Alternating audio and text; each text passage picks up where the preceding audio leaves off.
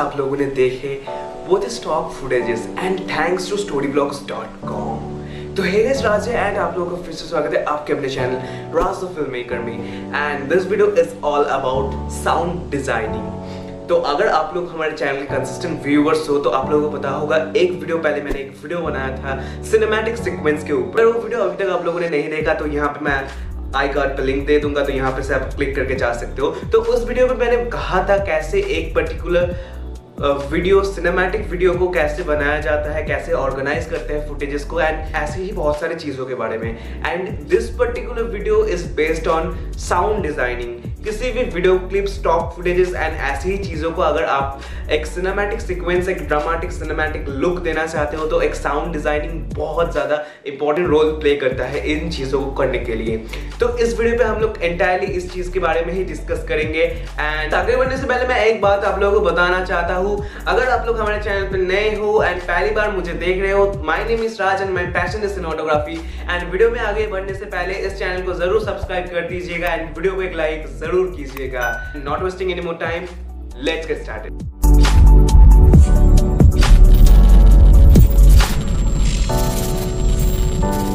इस entire process को मैं काइंड मास्टर पे करने वाला हूँ एंड इस चीज़ को मैं तीन पोर्शन में ब्रेक डाउन करने वाला हूँ। तो let's start with the first point first point at sound ambience तो एम्बियंस का मतलब होता है जो पर्टिकुलर साउंड्स बहुत ही लो डीबी में वो साउंड्स डेसिबल में आती है, लेकिन वो साउंड्स रिप्रेजेंट करती है उस प्लेस को। जैसे कि आप लोग एज एग्ज़ाम्पल पकड़ लो, मैंने जो वीडियो बनाया था, वहाँ पे मैंने नेचर एम्बियंस साउंड यूज़ किया था। तो नेचर एम्बियंस नेचर मतलब आप लोगों को बहुत सारी चीज़ें सुनाई देगी। किसी भी, अगर आप लोग किसी भी जंगल और किसी भी नेचर रिलेटेड स्पॉट पे अगर कंप्लीटली साइलेंटली कोई हाई डीबी में साउंड रिकॉर्ड करो तो आप लोगों को बहुत सारी ऐसे साउंड सुनाई देगी। तो आई होप आप लोगों को एम्बियंस का मतलब समझ में आ गया होगा।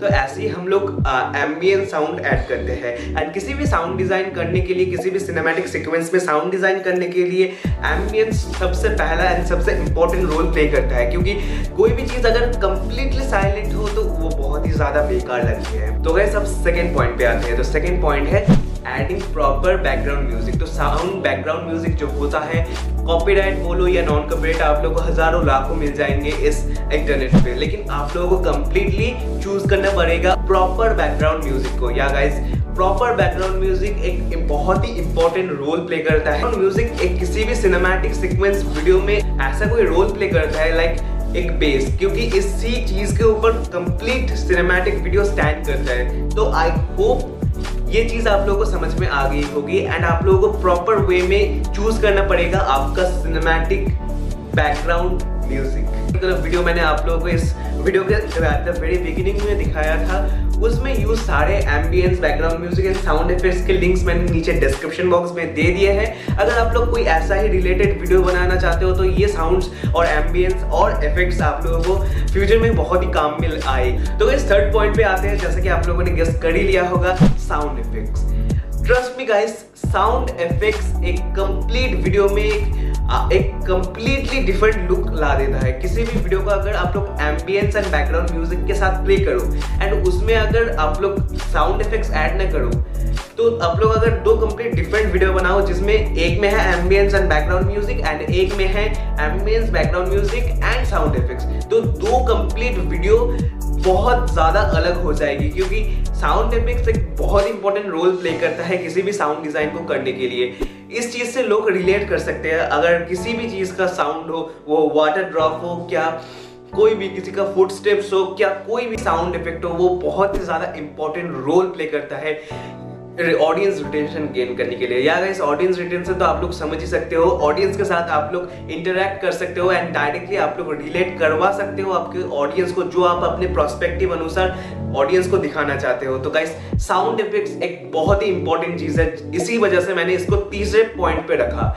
तो ambience background music and sound effects इन तीनों चीज़ों को ध्यान में रखते हुए किसी भी सिनेमैटिक सीक्वेंस वाले वीडियो में साउंड डिज़ाइन किया जा सकता है। ये तीनों चीज़ कंप्लीटली एक बहुत इंपॉर्टेंट रोल प्ले करता है किसी भी सिनेमैटिक वीडियो को एक बहुत ही अच्छा ड्रामाटिक लुक देने के लिए। तो मैं गाइस आप लोगों को आ, बहुत ही कॉन्फिडेंस के साथ बोल सकता हूँ। सिनेमाटोग्राफी करना चाहते हो साउंड डिज़ाइन के सिवाय अगर आप लोग सिंपली कोई भी म्यूज़िक प्ले कर देते हो और कैसे ही कोई चीज़ें करते हो ये कंप्लीट डिफरेंस लाएगा आपके वर्क फ्लो के अंदर। एंड गाइस आप लोग अगर पहली बार मुझे देख रहे हो तो my name is Rajan my passion is cinematography and helping other people with my experience तो गाइस ऐसे ही आप लोगों को हमारे चैनल पे इन्फॉर्मेटिव वीडियोस देखने को मिल जाएँगी। बहुत ज़्यादा इन्फॉर्मेशन मैं डालता रहता हूँ एंड उसके साथ ही फ़िल्म मेकिंग रिलेटेड बहुत सारे कंटेंट मैं बनाता रहता हूँ तो आप लोग को हमारे चैनल पे फ़िल्म मेकिंग रिलेटेड बहुत सारे वीडियोस ऑलरेडी देखने को मिल जाएँगे। एंड फ्यूचर में भी मैं ऐसे बहुत सारे वीडियोस बनाऊँगा। नए हो इस चैनल पे तो नीचे रेड कलर का सब्सक्राइब बटन मिल जाएगा। उसे ज़रूर दबा दीजिए एंड इस हमारे फैमिली का एक मेंबर बन जाइए सब्सक्राइबर बन जाइए हमारे वीडियोस का। क्योंकि हम लोग हर संडे वीडियोस पोस्ट करते हैं हम लोग वीकली कंटेंट प्रोवाइड करते हैं हमारे ऑडियंस को। तो सब्सक्राइब तो बनता है, वो उसी वजह से। तो गाइस मिलते हैं नेक्स्ट संडे कुछ अच्छे कंटेंट के साथ। Till then Bye bye.